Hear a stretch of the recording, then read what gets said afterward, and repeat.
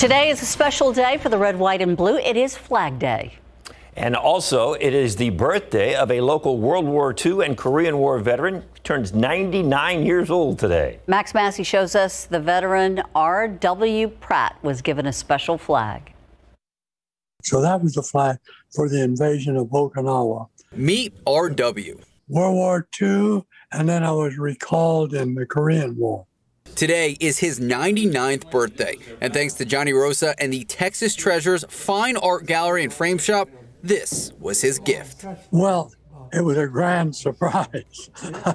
it's beautiful. Uh, it was it was our battle flag. We all know the American flag, red, white, and blue, but did you know that the colors have special significance? Blue is justice, perseverance, white, purity, red, hardiness, and valor. These colors mean so much to so many Americans, but for RW, it is especially important. The colors, they mean something. They, you know, you show your colors. You know, we say that about football, we say that about basketball. Do you wear the colors? It's the same, only it's grand when it's your country. So show the colors.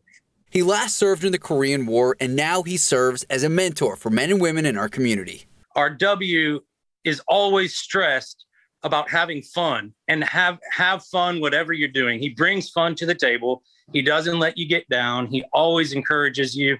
And so since I've met RW, uh, it's it's life it's life changing. Max Massey, KSAT 12 News.